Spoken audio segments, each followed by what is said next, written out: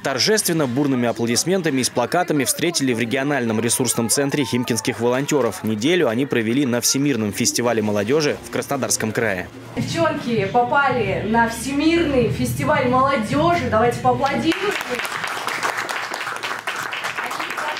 Они прошли очень большой, долгий путь. Э, Отбор был действительно очень сложный. Полина Постникова – одна из тысяч волонтеров, кто помогал в организации крупнейшего международного фестиваля. Девушка с радостью делится впечатлениями.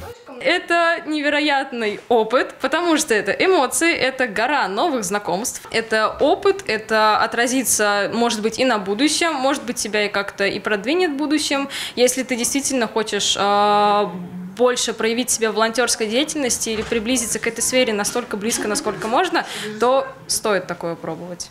Встреча волонтеров прошла в рамках муниципального этапа фестиваля «Действуй». На его площадках обсуждают разные вопросы, которые интересуют молодежь – от развития до самореализации. Поддерживаем ваши начинания, продолжайте заниматься очень важным делом, которое вы делаете, и дальнейших вам успехов.